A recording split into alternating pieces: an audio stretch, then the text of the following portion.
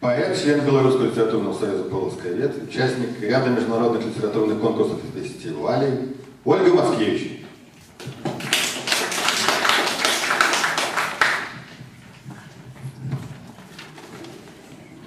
Здравствуйте.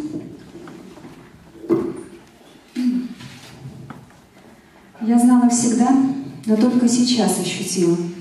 Все может исчезнуть уже через несколько строк. Дорожка, калитка, цветущая белая слива и взгляд твой прозрачный, и слово мое, мотылек. И белых стихов недосказанность, незавершенность уже через несколько строк или даже быстрее вдруг могут исчезнуть. Какое острое слово, почти как влюбленность или даже острее. Для белых стихов отыщутся точные рифмы, и бледные лица покроют румянцем заката, и белым цветам ветер смерти подарит свободу. И все это я приближаю, и я виновата. Вдруг ты разглядишь меня всю за несколько актов, как в пьесе какой-нибудь. Что же останется нам?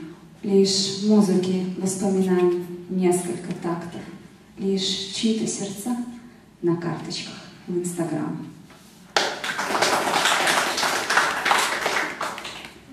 Я надеваю солнечные очки, чтобы скрыться от мира. Я не вижу его, он не видит меня. Во всяком случае, мне кажется так. Вокруг мрак, свет мечется, как мотылек. Ты особенно остр на язык, поэтому я надеваю очки и еще немного тебе в упрек.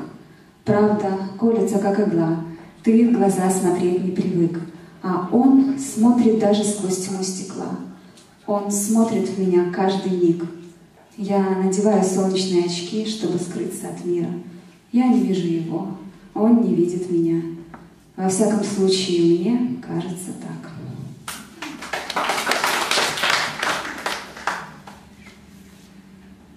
Ветер туманом наполнил мешки и потащил высоко над землей.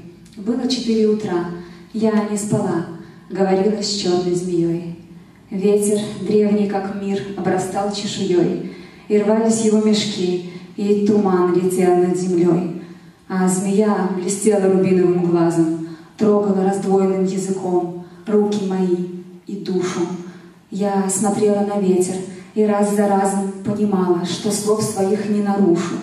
Но вокруг было белым-бело от тумана, и туман был все тяжелее, и как выдержать этой тяжести я не знала — а змея все блестела, блестела рубиновым глазом, что-то мне говорила и не уползала.